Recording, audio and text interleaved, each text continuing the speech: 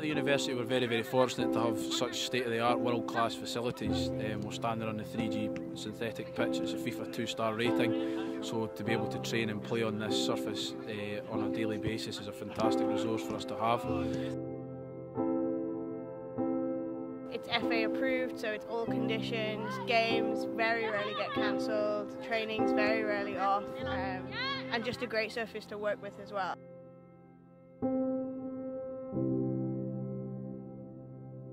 Moment, we're uh, doing pitch-based conditioning sessions as well as gym-based sessions, which are twice a week for both of them. We get video analysis, we get strength training, so it's been we've been treated like almost like professionals.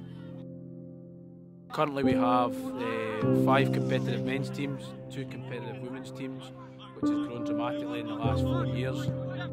Every team has a coach now. The two women's teams also have coaches. We've had three promotions in the last three years, and the club's just going up every year. We've um, become a focus sport. We joined with the guys team to become one club. We've gained coaches instead of a student coaching us. S&C, we've progressed from being in the second league to the first league and into the quarterfinal of the British Cup. Since I've been here, Stuart's got a cracking idea of what's going on here. His, his training sessions are fantastic. They're almost, um, almost like perfect in terms of how they prepare for games. So there's a tactical side, there's the counter-attacking stuff, there's keeping possession. It's just different ways of playing. Taylor and tailors that towards the team that we're playing against. So yeah, it's a, it's a fantastic setup we've got going on here.